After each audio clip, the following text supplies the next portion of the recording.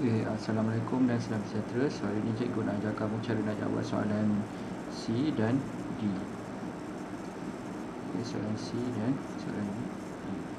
Okay, so um,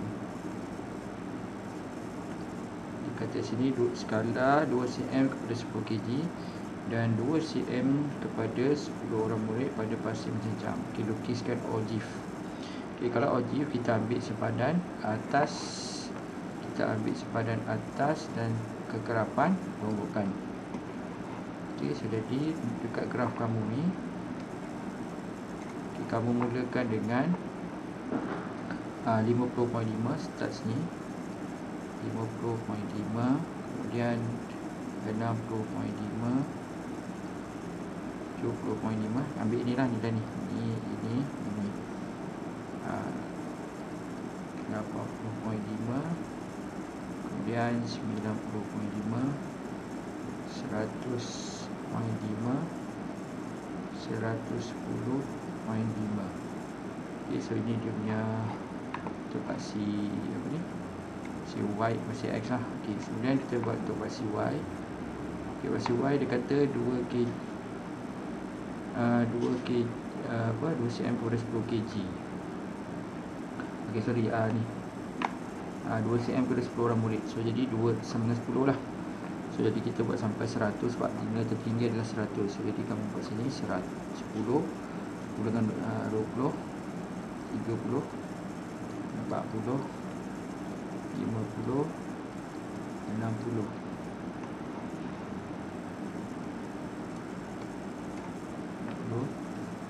Kemudian sini 70 80 90 dan sini adalah 100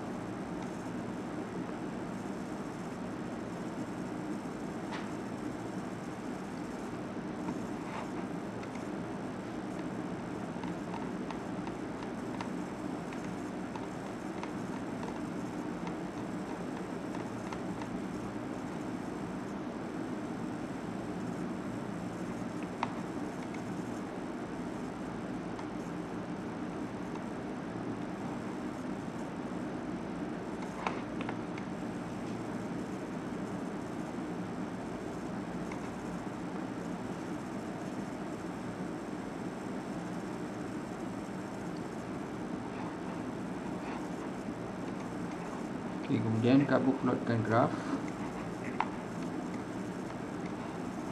Okay, so yang pertama 0.50. So 0.50.5. So 0.50. Sini. Kemudian 7 eh.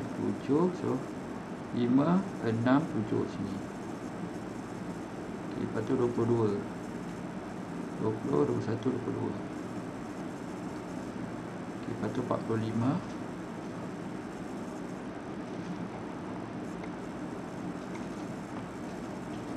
sini okay, Lepas 45 76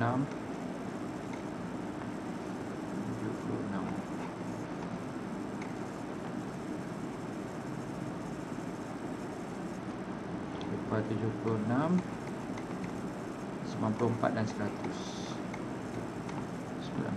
94 dan 100 So ni 94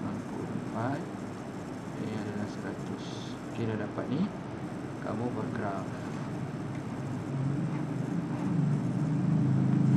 Ok sebab cikgu pakai pen digital. So jadi tak berapa kemas lah. So jadi Kamu sambung saja Guna freehand ya Jangan pakai pembaris.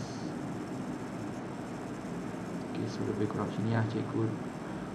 Uh, sebab bagi pen digital jadi nak tepat tu agak susah So jadi kamu nanti lukis lebih. Uh, Kalau boleh lebih lagi kemas ha, Dia tengok. Apa nak bingkuk-bingkuk ni susah.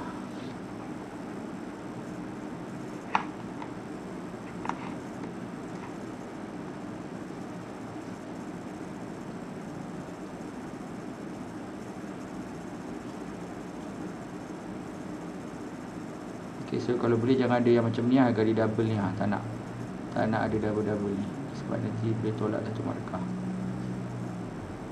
Sebab cikgu, macam cikgu cakap lah, cikgu ni pakai apa? Pakai pen digital. Jadi nak dapat tepat susah sikit. Okay, so dah dapat ni. Susah lah untuk jawab uh, soalan kamu yang C ni lah. Okay, kemudian dia nak kuartil ketiga. Okay, kuartil ketiga maksudnya adalah 3 per 4 eh. Kalau kuartil pertama 1 per 4 Kuartil pertama 1 per 4 Darab dengan total nilai dia. Total dia kat sini 100 So darab 100 okay, Sebab dia nak kuartil ketiga So Q3 lah. Q3 3 per 4 Darabkan dengan 100 So jadi kita dapat.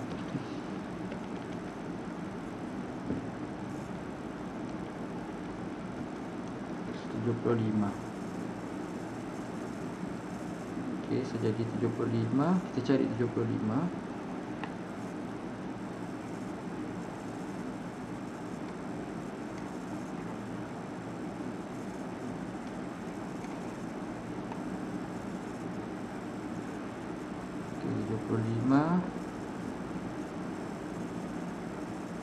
Okey, ni 71 72 73 74 75 Okay, so ni adalah 75.5 Kita nak 75 So ni 74.5 So 75 dekat tengah-tengah ni.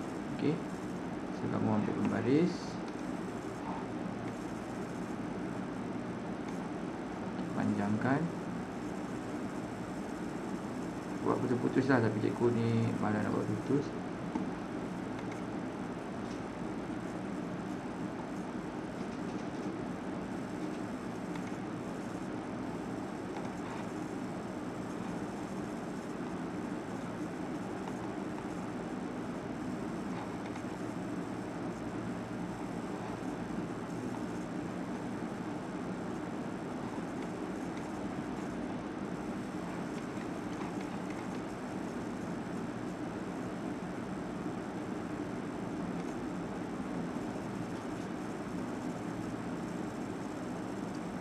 Okay, so jadi kamu dapat dari sini nilai dia. Uh, Zoom sikit. Okay, macam cikgu cakap uh, Cikgu punya uh, jawapan ni mungkin tak berapa tepat Sebab dia graf cikgu bingkut-bingkut kan. Tetapi kat sini cikgu punya jawapan ni Cikgu dapat nilai dia adalah um, 30 lah, okay 30 Okay, kalau nak kalau kat sini baru nilai dia 31 Tapi sebab dia dekat hampir dengan 30 So cikgu gunakan cikgu ambil 30 lah isi kuartil uh, ketiga sama dengan 30 saja dia bergantung kepada graf kanu okey? Sebab cikgu ni sini-sini okey? Itu saja sekian terima kasih